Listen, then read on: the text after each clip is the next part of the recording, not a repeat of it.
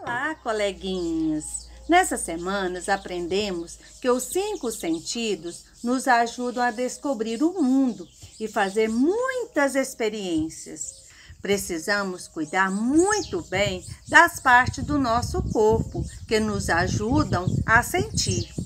Sabia, criança, que não podemos colocar as mãos sujas nos nossos olhos, no nariz, na boca e nem nos ouvidos.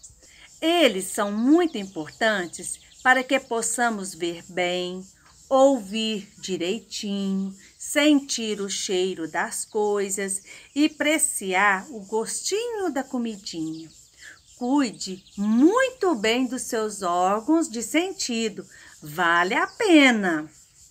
Hoje teremos uma brincadeira bem legal para você participar.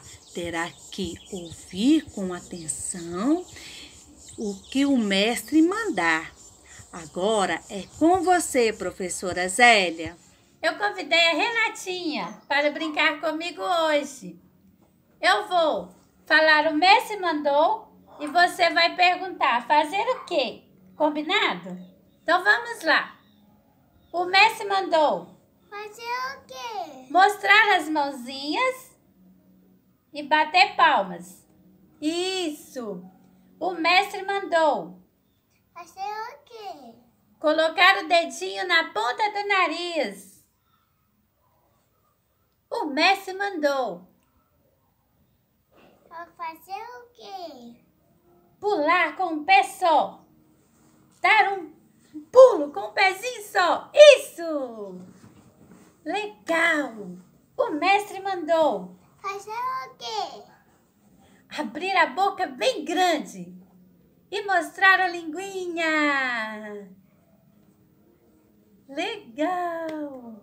O mestre mandou Fazer o quê? colocar as mãos no ouvido. O mestre mandou Fazer o quê? Você vai piscar com os olhinhos, dá três piscadinhas com os olhinhos.